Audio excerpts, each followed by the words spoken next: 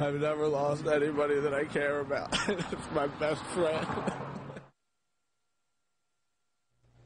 Certainly an emotional time. Best friend and co-star Bam Margera opens up and breaks down after the death of Ryan Dunn.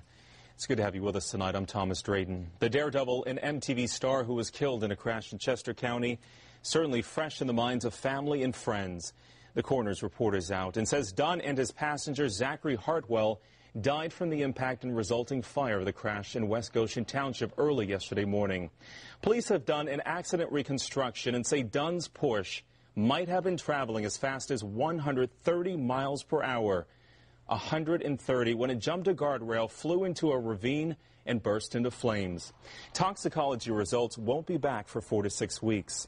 Now, Dunn posted this picture on Twitter hours before his death. And now, movie critic Roger Ebert is apologizing for what he said about it. Ebert tweeted, quote, Friends don't let jackasses drink and drive. As you can imagine, it certainly upset Dunn's family and his friends, including Bam Margera. Ebert said in his Chicago Sun-Times blog today that his tweet wasn't intended as cruel, but he added that while it was probably too quick to tweet, he stood by his message. Our Chris O'Connell spoke with Margera tonight. I know the two were very close, Chris. They sure were. Fellow Jackass star Bam Margera was actually in Arizona, Thomas, when he got the call. He said shook his world, informing him that his best friend he considers his brother was killed in a fiery crash about a mile here from West Chester in West Goshen Township. Well, tonight, Margera went back to that crash site for the very first time. It was in a very emotional time for him. Right afterwards, he spoke only to us about his friend.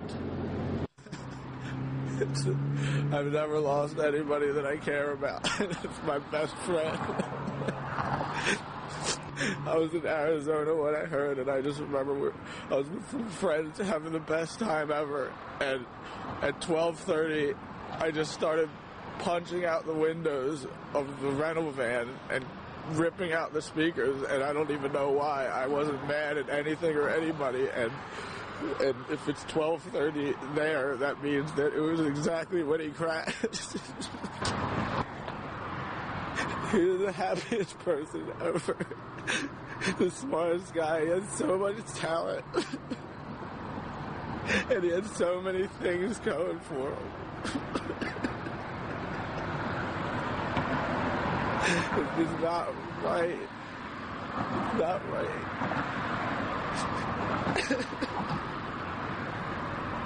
How do you get through this?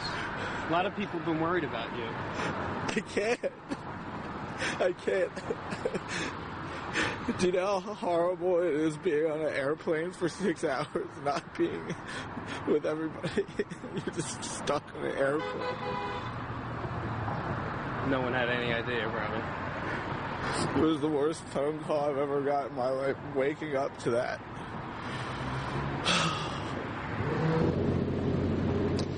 Margera clearly overwhelmed in that interview. He says everyone in the world knew Dunn as that guy with the crazy antics and stunts in the Jackass movie. Margera says he knew Dunn like no one else in the world, like his brother. He says he will never recover from a loss like this, Thomas. Surely understand his pain. You think about your own friends, the one that you know, the ones that you love and, and about losing them.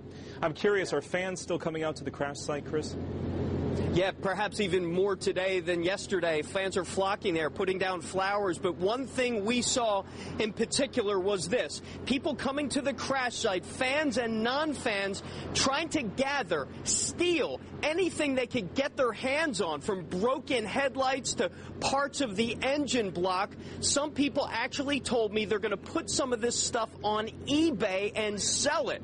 T shirts and lighters and all kinds of things have already made their way on eBay, but at the crash site, you should have seen these people pilfering away whatever they could. I talked to a police officer. They said that is illegal. That is still an investigation scene, and these people should not be doing this, but they were taking away everything they could get their hands on. And frankly, it's a, I think it's a disgrace, Thomas. It really is. It's downright low. I mean, come on, people. Our Chris O'Connor reporting tonight. It's just sad. Chris, thank you.